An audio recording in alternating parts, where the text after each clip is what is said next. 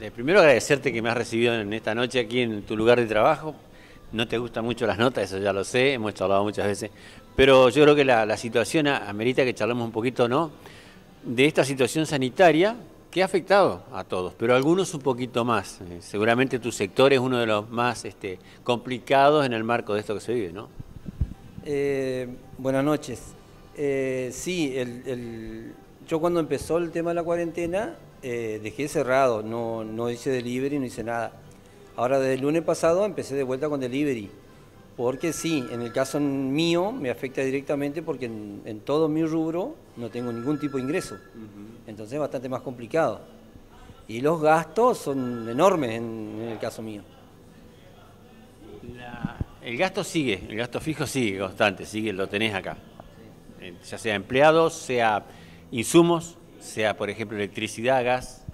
Sí, eh, acá, acá en la sede lo que es electricidad eh, electricidad, los impuestos, todo. Además, nos tocó justo el mes de que nos toca la luz de enero y febrero, que es carísima, es muchísimo. Entonces es un gasto fijo muy grande y muy difícil de, llevar. Exactamente. ¿Cuánta, gente se mueve en torno a acá? ¿Cuántos chicos van y vienen acá en torno a este local? Y acá eh, fijo son tres los chicos que tengo trabajando, que son tres chicos inscriptos. Eh, y después chicos que hacen tarea, a ver como seis o siete más. Que ellos, lamentablemente, no hay ninguno que esté trabajando actualmente. Sí tenés, vos decías, los chicos que están fijos. Si los chicos están fijos, están, están, los, están los tres trabajando. Ahora que empezamos de vuelta, pero tuvimos prácticamente un mes entero sin trabajar nada. ¿Pensabas que no iba a ser tan larga la, situación esta? ¿Que se iba a eh, prolongar tanto? Dos cosas. Pensaba que no se iba a prolongar tanto por la experiencia que tuvimos cuando con el, la gripe A. Eh, después tampoco sabíamos cómo iba a ser. Entonces tampoco tenía ganas de poner en riesgo a nadie. ¿Viste? Porque si es que eso se venía mal, así como se veía en otros lugares, eh, era inútil poner en riesgo a nadie. Después, según cómo, cómo se va a ir yendo las cosas, bueno, ahora está un poquito más flexible porque acá en Entre Ríos estamos demasiado bien. Jorge, eh, esto habla o enseña mucho, ¿no? Esto, esto enseña en definitiva, te deja una lección. Hasta el momento, ¿qué estás aprendiendo de todo esto? Un poco a tener paciencia, que es lo que menos aprendí en mi vida, a tener paciencia, porque continuamente si no es una cosa hago otra o, le busco la vuelta a todo.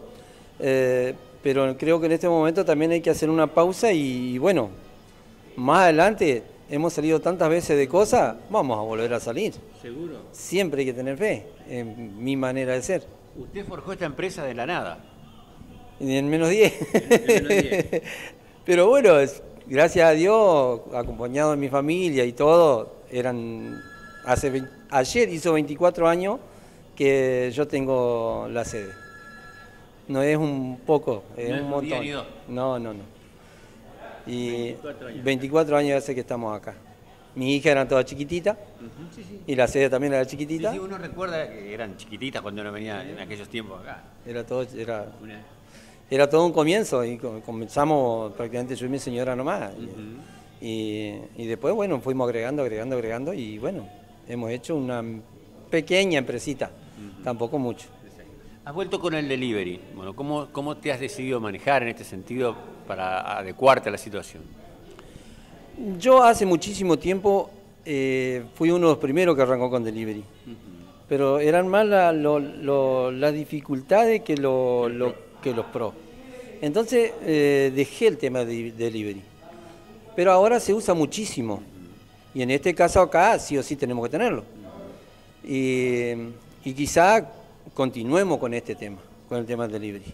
Cuando esto se normalice, porque nosotros no lo estábamos haciendo, eh, cuando, cuando esto se normalice, posiblemente vamos a seguir con delivery.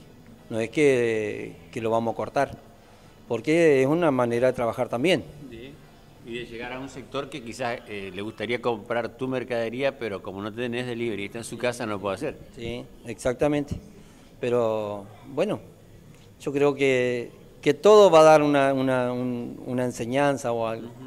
Y en el caso mío también, a mí me, achica en, en, bastantes proporciones el tema que tampoco podemos hacer ninguna fiesta. Nosotros con el tema del servicio lunch. Eso te iba a preguntar, ¿cómo estás con lo otro?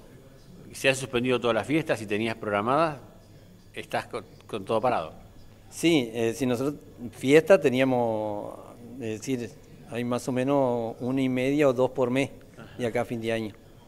Que no creo que hagamos, no sé si llegamos a hacer alguna, ojalá podamos hacer alguna.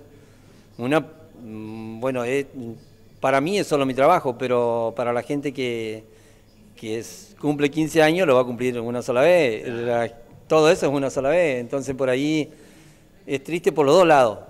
Lo mío es un factor económico, pero... Pero en, lo sentimental, en la familia, en, el, Es bastante más, más difícil. Aparte, a mí, para mí es factor económico y también es, es algo que realmente me gusta. A mí me, me encanta hacer ese trabajo y me gusta lo que hago acá también. Acompañado lógicamente de los gurises que tengo, que para mí son fantásticos. Todos los, chicos que trabajan conmigo, para mí, lo único que digo, le digo siempre gracias. Eres un gran grupo humano. No, totalmente. Que seguramente eh, sentís mucho también por ellos, ¿no? Porque no puedan eh, tener su dinero como habitualmente tenían después de cada fiesta. Exactamente, es así. Y aparte de los, de los chicos de la fiesta y los chicos de acá de la sede también. Los chicos de la sede, bueno, ellos, los tres que están trabajando, pero además hay como cuatro más que no están, no están trabajando actualmente. Que son, trabajan los días de fin de semana, los días que, hay, que se mueve mucha gente, ¿viste? Exactamente. Sabemos en verano esto es un movimiento importante. Es uno de los lugares que más se visita. Eso. En nuestro club. En nuestro club. en nuestro club lo que genera alrededor. Exactamente, y que lo queremos todo. Jorge, bueno, seguramente a replantearse muchas cosas después de esto, como charlábamos en una parte de la nota recién. Pensaría que sí. Hay, siempre hubo un proyecto y de todo que uno los va como postergando un poco y en este momento por ahí los pensás un poco, no sé si, si los postergás, si los, eh, o los replanteás. Porque ¿viste? hay cambios, hay cosas que van a ser un poco diferentes. Después que no va a ser todo igual, seguro. Esperemos que sea para mejor, no para peor, porque hay muchas cosas que, que, por un lado están buenas, pero hay cosas que tampoco están tan buenas. ¿Viste? Porque es como que entre todos nos cuidamos, pero entre todos nos esquivamos. no, no, está bueno. Como que te quiero, pero que no te quiero. No te quiero, ¿viste? Entonces por ahí que no quede nada feo en los chicos, principalmente. ¿Viste? Que la persona grande lo vamos a, a saber resolverlo, vamos a ver. Pero por ahí, eh, en, los gurises chicos, que mucho tiempo de que no te arrimas a nadie ni nada, tampoco está bueno. La última. Eh, Jorge Jaco era un tipo que no estaba acá trabajando, pero que estaba pensando qué hacer para el futuro de su empresa. Era así, Jorge, ¿no? Estabas permanentemente, yo te, hemos charlado muchas veces, no estaba acá atendiendo, pero estaba en otro lugar pensando qué organizar para darle algo más a la gente o para generar un vuelco distinto en este local. Siempre ¿Y hoy qué haces en ese tiempo? No sé, hago de todo un poco y trato de, mantenerme lo más pasivo, lo más tranquilo posible. Por ahí también vengo cuando puedo, me vengo acá a la sede y, sigo sacando cuenta de qué es lo que más se puede hacer para hacer las cosas bien. Simplemente para avanzar o para que... Para seguir en marcha. Claro, exactamente. Eso fue un poco lo que la cuenta que sacamos el otro día también cuando empezamos con delivery ahora. Porque un tiempo podés mantenerte sin... Pero después tenés que moverte. Tenés una espalda que te da para un tiempo, después se te acabó. Sí, se te termina.